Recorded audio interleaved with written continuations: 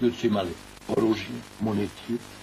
Ljudima je rečeno da se priprema ako treba i borbu prsa u prsa. Eto, spremni. Imali su bombe, imali to, mi smo bili tu spremni. I moram da vam kažem, zahvaljujući tome i suprostavljanju s tom napadnom kolonije, nije bilo više žrtava. E sad, šta mene najviše vređa? Mene kao čovek, kao ljudsko biće, kao komadant, najviše vređaju izmišljotina o broju poginulih u Dobrovoljačkoj I ja vam tvrdim da to nekome uopšte ni dan danas nije interes da se zna prava istina. Koliko je bilo poginulo?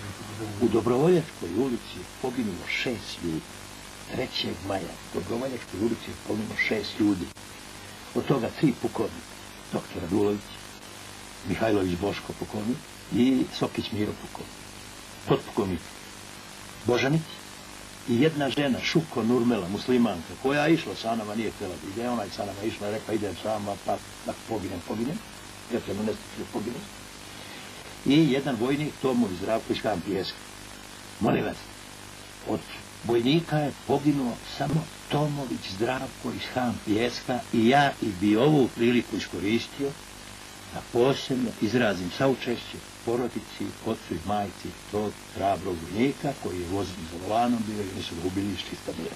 Koliko je zarobljeno vojnika države? Molim vas, što se tiče poginulih, to vam je isti. 100% isti. Zaboravio sam reći da je Taso Enes Suliman, koji je, on je general, penzivan, na bolovanju, on je teško ranjen. On je bio na začelju kolone, jer on je najstariji iza mene bio, znači to po našim propisima, najstariji na čelu, onaj do njega ide na začelju u toj takvim situacijama. Ranjeno je na broj ranje ljudi, svi su oni, sem tri koji su ostali sa posljedicama, među njima i Taso Enes. Oni su izleče ljudi, oni rade normalno i tako dalje. Prema tome, znate, kad uporedite događaj u Dobrovoljačkoj i događaju u Skojevskoj u Tuzli, a tada ja nisam komando više kad se dogodilo u Skojevskoj. To je neuporedivo teži slučaj u Tuzli. Ali vidite, namerno neko to izbjegala. A Tuzlu, to, u tom kolonom i tim to rukovodili Stupanić i mladi, znate. Znate, mislim, pa valjda nije bio interes tada da se kritikuje. Ja, ja ne kritikujem ni sada, jer i u Tuzli je isto ljudi su, koliko sam saznao, preduzeli sve, garancije i tako dalje, ovi su i muški napali, znate. A vi možda da li znate, sem te ulice Skojerske, možda su mogli neki obilazim još putem ići, ali pitanje da li je i taj bio slobodan. Treba biti objektiva, neko misli, znate, da ratujemo, da mi sve, ceo svet pobedimo, da kod nas ne bude neki žrtava. To je dosta, mislim, nekorektno i tako dalje. Najbolje bi to bilo kad bi mi sve pobedila da nemamo žrtva. To bi bilo idealno. Prema tome, to je, ostali su uslovno da kaže zarobljeno. Šta to znači? E, u, taj, u toj prekinutoj koloni, e, ta kolona imala 30, mislim, 6 vozila. 18 je vozila bilo napred. Znači, prošlo je 18 to vozilo i oni su napali taj drugi deo kolona. Vi znate da na, na potezu od Skenderije do Vrbanje, gore su one sve muslimanske kuće, one sanđaklije znate da su na zgradi izvršnog veća i zgradi skupštine imali svoje snajperiste. Dakle, mi smo bili, ja i dan dana čudim kako nisu otvorili na nas vata. Mogli su i na nas otvoriti. E sad, da bi mi izbegli to, onda sam ja sa Mekenzijom se dogovorio da se brzo sklanjamo. U tih 18 vozila bilo je oficira vojnika, znači to je oko pola, pola, pola kolone i da ne bi sad tu, ovaj, sad je džaba pričati, stajati tu, nego trebalo je prići, br, doći brzo do Grbovice i sa ovima u, u, u jednim nacijima, ovo vidjeti šta dalje dati, trebalo je brzo reagovati. Došli smo tamo i postavio sam sljedeću.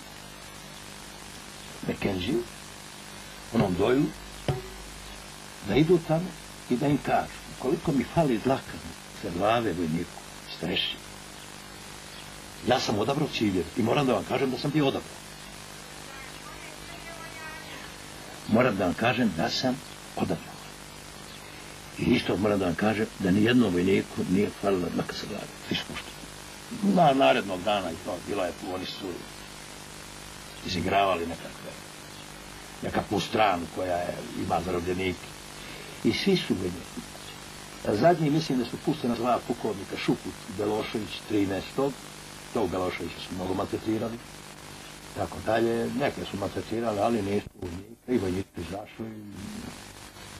I tu, kad se to sve sabere, znači, događaj je brutalan, sramotan, što se tiče sa stanovišta nemoći organizacije jednih nacija i morala, ili bolje reći nemorala, tog ustaškog i, i muslimanskog rukovodstva koji su nasrnuli, pa vi znate, vi vjerojatno imate snimak da je u pokret, toku pokreta kolone, ovaj Ganić naređivo da se ubijaju vojnici, tako dalje. Pa to mene treba zameriti. Rekte, gospode, pa to su strašne stvari. I, i toga dana, trećeg maja, niko iz vrhovne komande, jaci, i niko od vaših teritorijala, vašeg kosta, nije mrdno mali prstom da nam pomogne. Pa to su strašne stvari. Pa ko koga treba da napada? Ko koga treba da, da, da, da, da, da, da, da, da, te ne znaš što da Ali nisu bili komandant, vi ste bili komandant koji je poznat prije početka rata bio po svojim oštrim nastupima. Ne bi se rekao da ste ovdje oštro postupili. Kako ne? Pa šta, šta to znači oštro? Ja sam za, saobrazno konkretnim situacijama postupao. Znate, vi mora da znate. Ja ne znam Niste da... mogli, na primjer, evo, naravno vi ste komandant da. ali ja se slabo razumijem u vojsku, ali prenosim ono što je... Što ljudi kažu. Što ljudi kažu. Svi ti... Da niste, da niste mogli e, imati postavljene svoje ljude na Trebeviću, koji smo mi kontrolisali, na Grbaviću, koji smo mi kontrolisali, i na mnogim drugim mjestima, u slučaju prekida koloni, da se odmah, na primjer, ovo što ste malo čas rekli, sravni predsjednici. E, molim Znate, prvo ja sam imao malo vojske, prvo malo. To što je grad Đurđevac odvojio malo vamo na Grbavicu, to je to. Mi smo imali dosta. Shvatate ljudi da sam ja od sto vojnika po mirodovskoj formaciji, koje me po mirodovskoj, imao sedam. Po ratnoj formaciji od, od hiljada vojnika, ja sam im opet imao sedam. Pa tako da. To su stvari koje treba razumeti. Prema tome, E, ja sam očekivao, pravda vam kažem, pomoć od vas, ali ništa. E, moram vama kao čoveku, jednom od ključnih ljudi na televiziji, Srpskoj, šta ja vama zameram? Ja vama zameram i to što ste se ili uklopili u nekakvu kampanju protiv nas, protiv mene, umjesto da ste se svi postideli izvini. Ja moram to da vam kažem. Moram reći da kampanje nije bilo. Bilo je, bilo je. Ne, pod, mislim, to je kampanja na našim raznim kanalima, to je išlo i odavde. Prema tome, sve što smo mi imali, bilo je raspoloženje. Ja mislim da i dan danas ona jedinica koja je 3. maja bila na mostu Vrbanja, da je ona i dan danas. To su bile naše mogućnosti. Nikakve druge. Mi smo imali artiljerije, ali znate, što ja ne mogu sa nekima da se složim? Nije problem rušiti Sarajevo, ali problem je iz dva razloga. Prvo što to nije human, rušiti urbane sredine, drugo, pa izginut će i Srbiju Sarajevo ako gađe. A ja nisam teo niko da pogine, ne dužan. Ja ne mogu da prihvatim nekakvo ratovanje gdje stradaju nedužni. Ja vi znate, da li znate, ne znate, ako ne znam, da vam ja sad kažem. Ja sam a, moja, sa mojom vojskom, moja je vojska svugde njih porazila na bojnom polju do nogu. Ide u Sarajevo. Ček, čekaj svugde do nogu. I njihov pokušaj osvete drugog maja, trećeg maja, trećeg maja, i drugog maja smo ih porazili. Čak su tada najveći porad živjeli, neko iznujemo kupres. Oni su pokušali da se osvete meni drugog maja. Molim vam, ja sad, svačiji je život vredan. Čak u, u, kad se govori o, o ljudima koji su poginuli, treba onu reč samo izbaciti. Ali je činjenica da je šest ljudi poginulo. A proneti su glasovi da je poginulo, meni su ovdje ljudi dolazi i kažu, čestiti ljudi koji su obmanuti, kaže minutne sve sve, ali brate, iznot je mnogo. Jedan kaže, koliko, koliko to ti ima, pa kaže, zadnja je cifra 199, pa ja sam malo toliko imao u koloniji. To su strašne stvari, to je propaganda, to nečije. Nije to slučajno, to je negdje u nekoliko centru pripremi. U kom centru? Kome vi najviše zanimljati? Ja mislim u Beogradu. Ko je to u Beogradu? E, što se tiče vojnih ovih, mislim da je to Panić, Nedeljko Bošković, Ljubodar Stajadinović, to su užasni ljudi. To su, nama, to su ljudi koji su najmanje za vas učinili. Naprotiv, za vas tamo. Ali su mnogo zla naneli našoj vojci. Ja sam recimo gledajući juče proslavu dana armije, one, ovaj, danas je tam vojska Jugoslavije. I vidim da je taj svet se jedan put osvestio. A koja je ta vojska Jugoslavije? Pa to je jedna srpsko-crnogorski deo JNA koji je zaokružio srpske zemlje. A to je taj deo. Evo, poslije, kakav je bio vaš odnos sa vrhovnom komandom? E, prema tome, samo da vam kažem, vi znate, do nogu je potučena brigada koja je došla iz Osijeka na Kupnicu. Moram da vam kažem da je uništena. Ali pazite. Tamo je bio general Mladić. Ne. E, general Mladić je od mene dobio naređenje da odvoji deo jedinica i da postavi Lisicu i onoga Grujića za zamenike da tamo komanduju. I taj pukovnik Lisica, general sad, njemu svaka čast. On je besprekorno izvršio zadatak, nije tu Mladić je, Mladić je realizovao moje naređenje, znate. Da li on bi išao posle na kuplje, što išao i tako da. I sad molim vas, porazili smo i na kuplju, u Bosanskoj posili, odbranili smo ova Miliđu, odbranili smo ova Bogoša. Ja sami smo branili. Ne, ne, zajedno s vama, ali vi znate da u zadnjem trenutku da nije bilo nas, palo bi. Školu MUPA, školu MUPA smo vam odbranili, ja mislim oni tenkovi dan danas to. Nisu, skoro su sad iz one E, molim. Mi smo nigde, mi smo njih apsolutno, onda on tim drugim sitnim sukobima. Mi smo njih svugdje prazili. Ja molim, ja kažem, daj neko nek mi kaže da smo ne... Generale, zašto nije, e, da li je postojao politički i vojni cilj kad govorimo o Sarajevu? Da se Sarajevo nije moglo na drugi način rešiti? Da li je postojao neki cilj? Da li ste vi imali vojni cilj? Gdje? I... Dobro, ja... A, da vam kažem nešto. Što se tiče političkih ciljeva, ja mislim da oni i dan danas ne postoje. Kad govorimo o srpskim narodima. Pravo, ja mislim da ne dan danas postoje. Čim nemate politički cilj, tada ga uopšte ne bilo. Nikako. Tada je nakraj se iskristalisao jedan cilj da mi zaokružimo srpske zemlje i to je dobro. Samo to je nije to naš, to je slučajno ispod. Zahvaljujući nama je na, jer smo ih zaokružili te zemlje. Ako vi nemate politički cilj, vi vrlo teško možete da izvučete vojne ciljeve. Znate, da ja vama kažem, ja sam uglavnom samostalno radio, sve odlučivo. Moja jedina prava veza, i čo, to je recimo general Adžić. Ovi drugi su radili druge poslove, znate, ovaj, pripremana je hajka protiv ljudi, pripremana je hajka protiv nas koji smo zaokružili srpske predele zajedno sa vama, sa Srbima, recimo ti u Republike Srpska krajina, tamo tamo su ljudi strašno borili. Tamo su ljudi zajedno sa nama izborili. Odakle bi vi oružje, vi bi se, sa bi vi ratovali da ne bilo nas? Sa plečkama? Ne, ne, s našim oružjem. Sa lo... Znate, mislim da je vreme, mislim da je vreme, ja lično nemam nikakve više ambicije, ali stvarno treba jedno ljudi ovaj, da, da saznaju ti... Ne, ne, još govoriti za Sarajevo. Za Sarajevo, što, što vi pitate mene za Sarajevo. Vi imate vaše političko rukovodstvo, koje je jedan vas vodi. Ima rukovodstvo političko u Beogradu. Da je neko naredio i materializao odluku da se zauzme Sarajevo, ono bi bilo zauzeo. A poslije se pitanje, sa čim zauzeti Sarajevo? I zašto bi ga zauzeli? Srpski deo. Srpski deo, ne, pa zauzeti srpski deo Sarajeva.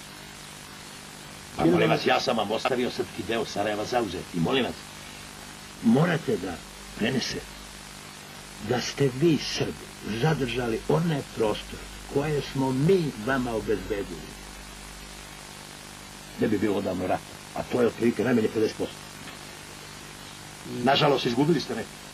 Dobro, neke su nešto bodile, neke izgubili. Ali neke ste važne izgubili koje ne mogu da shvatim da ste ih izgubili. Recimo, ne mogu da shvatim gubljenje levog galenera. E. Ne mogu da shvatim da su, recimo, žuči izgubljene. Izgubljeno moj milo i tako da. Tako, to je sad baš... Ali možete da shvatite da je oslobođen otis? Dobro, otis je da mali prostor, prema selu. Da. E, ja vas, da, da, ne ulazimo da vam kažem, ovaj, Djogo, nemoj, ovo recite ljudima, ne zbog mene, jer kad ja kažem da smo mi njih svugde porazili, zaista svugde, i da njihov pokušaj osvete u Dogojaškoj ulici nije uspeo, prenesite to zbog ljudi, zbog vojnika i starešina, koji su se tamo borili i dobar deo se i dalje bori. Zbog vojnika i starešina iz države Savezne Republike Jugoslavije, koji su se časno i pošteno borili, i njihov vrhovni komand je naš doneo odluku da se junak povuče. Ja lično mislim da je ta odluka naopako donešena u svakom pogledu. Donešena je u nevreme. Donešena je podmuklo, mučki. Ja uopšte nisam konsultovan. To je bio cilj da se ja izblamiram, znate. To, to, prema tome. Ali isto tako mogu vam reći da je vaše rukovodstvo učestvo donešenja. To su bile političke... Za mene, molim vas, za mene je najsramnija odluka od 4. maja O povlačenju. o povlačenju. Sramna iz više razloga. Prvo što je doneta bez konsultacije sa mnom, a ja sam komandovao prostor veličine današnje Jugoslavije. Drugo, doneta je stvarno u nevreme. Treći, zamislite absurd. Donose odluku 4. maja da se gasi jedna i ovo i ono, a ja izvlačim one ranjenike i, i one zarobljene. Pa to su dile, ja sam, ja imam omča da kažem, ja sam prvi mar pomislio da je to donio, da je to odluku donio Hans Dietrich Genscher ili Helmut Kohl. Da se to sviđalo, ja sam u prvi mar pomislio, jer takvu odluku ne bili oni. Odluku je potpisao Branko Kostić koji je prije toga izjavljivao da pet godina E, neće... Branko Kosić 15. mislim aprila u listu pobjeda izjavi da on, dok je na čelu presništva, neće potpisati odluku o povlačenju JNA. Kao što znate, vrlo brzo je potpisao. Pa ja vam im, ja imam običaj da kažem, bolje vojske, lošije i crnije vrhovne komanta, ja mislim, ne nije zabeležno isto. Taka njima čast, znate. Ja neću da kažem da su oni. Oni jednostavno ljudi su onako. Ali mi, mogli, mi bismo mogli ovako dugo razgovarati. Međutim, emisija ima svoje God. vreme, neka pitanja ćemo čak morati preskočiti. Na kraju, da vam dam malo više vremena svoj prostor. Da odgovorite, gledalci su već nešto zaključili sami po sebi, naravno nema potrebe da im ja bilo šta sugerišem. E, danas, Milutin Kukanac, general pukovnik u Peđi, da li sebe smatra izdajnikom ili srpskim patriotom? Ja mislim, da vam kažem, ja sam vrlo skroman čovjek. Ja mislim da sam vrhu, vrhunski patriot. I ja mislim da sam jedan od redkih koji sam ubedljivo na del dokazao svoj patriotizam svoje srpstvo. Molim vas, e, ja sam vas apsolutno u svemu opremio, os- prvo branio i odbranio sa onom malobrojnom vojskom. Znate, a malobrojna vojska, Srbi, Crnogorci iz ove države i mali deo Srba iz postoje tamo, smo vama stvorili izvanredne uslove u svakom pogledu. U svakom pogledu, da ne nabrajam. Ja sam čak ispred nosa imao to oružje njihovo teritorijalno. I znate, ovaj, znate, i, molim vas, tamo je jedan baš tamo, jedan teritorijalac, neki Kojić, vidim ga na televiziji, komand neke brigade. On je, recimo, zajedno s mojim ljudima fantastično obavio posao u, posao u evakuaciji Paletića. Paletiće su, Paletiće su jedna strašna sredstva bila. I mi smo nju ispred nosa. To znači, rečili smo da to oružje upotrebe ga bor protiv Srba. Jer molim vas, ima nešto, ima, znate, i ovamo u Srbiji, i ovamo svašta ljudi pričaju, i u Skupštini. Ko je pravi neprijatelj definisan za mene su muslimani i Hrvati bili otvoreni javno, ne samo vojska niko, nego i narod su krenuli isto protiv nas. Treba to jednom da se zna. I, a Srbi nikad nisu, Srbi su bili na nove strani. Srbi su sa nama zajedno tamo radili, ratovali i tako dalje. Nažalost, neki Srbi su se posle nečasno poneli i tako dalje. Što vi ne kažete negde da sam vam ja kompletno dao opremu televizijsku da otvorite i isto sa mojom opremom, našom opremom, po čemu je to dnevno. Što to ne kažete? Pa recite to. Znate, ja moram da vam kažem da sam ogoršen na tri pisana intervjua ili knjigu. Prvo na vašu knjigu Rat u Bosni kako je počeo. Nema smisla kako ste prikazali. Ja pa mislim da to nema smisla, to je sramota. E, jer su valjda tu neki ljudi htjeli sebe da afirmišu, znate, jako nisu ništa doprinjeli. Jako su nešto u to vreme doprinjeli, to je loše su doprinjeli.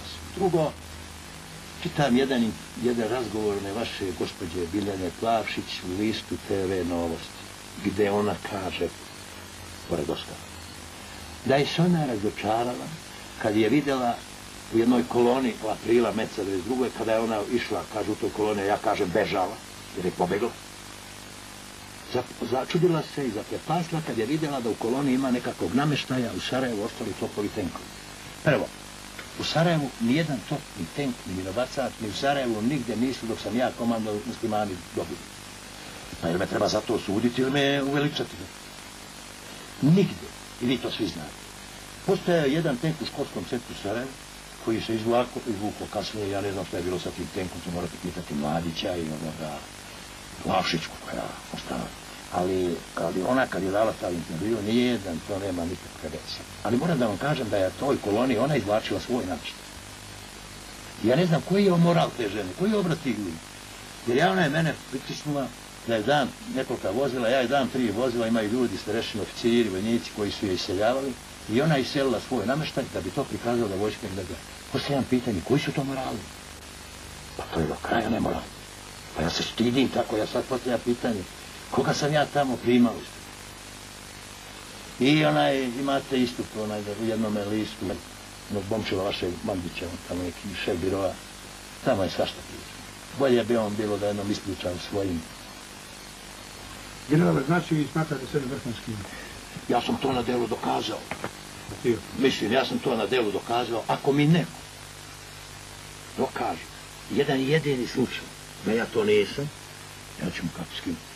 Nema toga ko to može dokazati, da to nema. Molim vas, ja sam jedan od tri generala koji je vodio borbu u okruženju za srpski narod, a ne za neki masovski narod. Jedan je general bio okružen po današnji način Gaštaba Perištić u Zadru. Izvukao se, ali znate kako on izveo svoju kolonu školski centar. Ovamo je vojska bila sva spremna da sve potamani tamo ukoliko tlaka nekom fali. Ja nisam imao nikakvu podršku. A ne. I sramot. Drugi general, to je onaj Baroš u školskom centru u Sarajevu, koji nažalost sazna da je penzionisan, da je penzionisan preko fašističkog radija Sarajeva. A on čovjek vodi borbu u okruženju. To predsjedništvo i ta odluka od 8. maja o penzionisanju generala i ne znam, razrešenju dužnosti, taj sramata, taj idiotizam jedan neviđen. To, to je bio samo cilj da se vojska što više ne sposobi. Za nečije interesa sad, znamo otprilike za čije. Ja ću knjigu napisati i opisat ću sve. Zapisao sam i treba samo da je prevedim još prije. Malo prepravim nešto, da doradim još neke stvari. Na tome, nek neko dokaže, ništa, sve što sam donio, odluku je se pokazao ispravno, i pokre dobrovoljačkoj način na koji sam to radio, samo je to moguće bilo i jedino, uprotivno, da, je, da nisam to uradio, mi pokojni na čemu sam verovatno bili. I još nešto, vi znate koliko su muslimani fanatici. Da je se dogodilo nešto Ali Izadević, zapamtite, Djogo, nas, Srbe, vojsku, vojsku i Srbe koji su bili u Sarajevo, ja mislim da bi oni klali zubima. Prema tome, potez mora za dobrovoljačku misiju, apsolutno isprava i jedino moguće. Moglo je mnogo gore biti. Prema tome, i ne mislim, ne, ne prihvatam nikakve primedbe, to je, mislim, jedna igra. I što se tiče patriotizma, ja ne znam, ja, pa i vi valjda znate da sam ja to na delu dokazao vama tamo. I ona je srpska krajina. Pa je li, e, posle mog odlaska, neke su te, te delovi, oni su tamo izgubili neke delove. Ja mislim da neko da će sad mene okriviti za e, gubitak Neretve, ne znam, tamo selo onaj, tamo ono u lici, tamo što si izgubili. Hvala, generale, poštovani gledalci, bila je to naša emisija, moj gost, moja istina. Čuli ste general pukovnika Milutina Kukanjca. Nadamo se da su vam mnoge stvari sada jasnije. Prihvatite ili ne prihvatite činjenice kako su iznesene. Mnogi ljudi koji su i ovde prozvani imat će priliku da u našoj emisiji također kažu svoje viđenje. Bilo bi to sve za večeras, prijatno i do gledanja.